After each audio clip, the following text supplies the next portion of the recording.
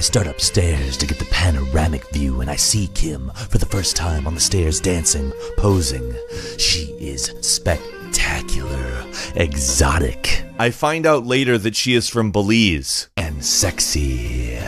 Her body is incredibly curvaceous, which is a clue that it may not be natural. And I notice a very subtle and not unattractive angularity of the face, which is also Not clearly diagnostic. on this tall siren. It is difficult to avoid viewing Kim from two perspectives, As a researcher, but also as a single heterosexual man.